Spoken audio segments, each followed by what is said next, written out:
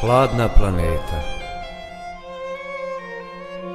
Repovi života bacaju prašinu Zaklanjaju se divni vidici. Oluja brod tjera u sigurnu luku Sudbina me vezala pod ruku. Sanjao sam san Dotakao želju. Stojim na ivici vulkanskog grotla Matora budala Stara krade zadnje kapi života. Strepnja na grudima zaspala Ljubav u nevrijeme Vjetrovi zli Nada Rosa po cvijetu prosuta Iskra strasti na prevaru silom oteta.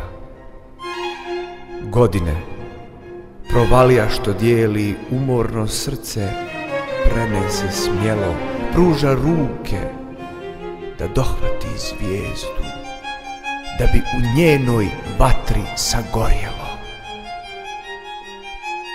Za uspomenu ostaje stih.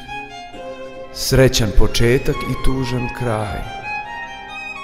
Kao smrt su vjerne Ljubavi bez nade Uzaludna čekanja. Ludi pokušaj. Sjene prošlosti mijenjaju pravac. Nepovratno nestaju divni vidici. Ljubav zadaje najteži udarac.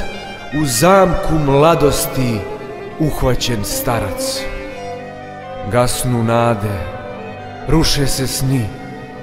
Pijanac ne može dohvatit plota Matora budala stara Potrošila zadnji kredit života.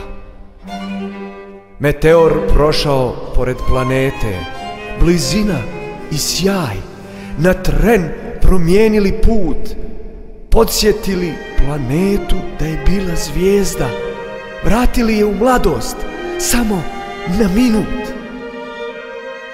Samo u duši ostao trag Dokaz nije bio san. Tama i mrak Ponovo se vraća. Život hvata stari Dosadni ritam.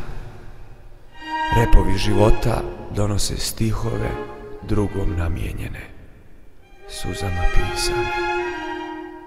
Odsutno lovim prohujalo vrijeme.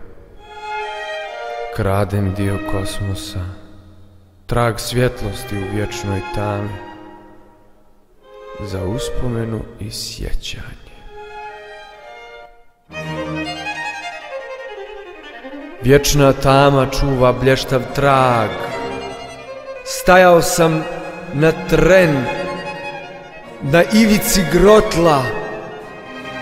Matora budala Stara Ostala bez zadnje kapi života